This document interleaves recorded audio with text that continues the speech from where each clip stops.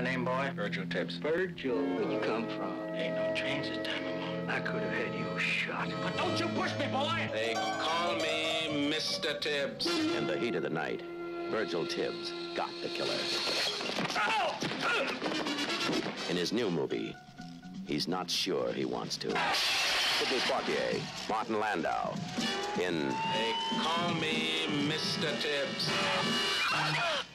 I think she's been strangled, too. It'll take the autopsy. Go back. Show me the neck. Couldn't be shorter if he bit him. Maybe you ought to pass this one. You killed the wrong man. All I want is a clean case. Belongs to Logan Sharpe. Give us this, our first victory. Virgil. So what now? And you're gonna have to book book 'em or clear 'em fast. Let me go. You're treating him like a fish on a hook. Sit tight. Logan, we want your permission to take these clothes to the lab and check them for blood spots. It seems to match. For the last couple of months, I've been sleeping with her. He's a very friendly landlord. He's on the bridge, Lieutenant. Shall we pick him up? You can't solve that murder. Why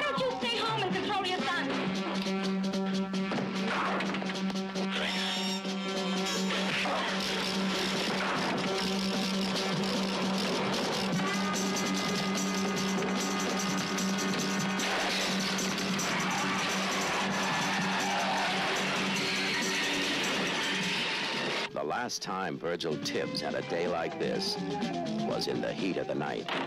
Sidney Poitier, Martin Landau, in They Call Me Mr. Tibbs.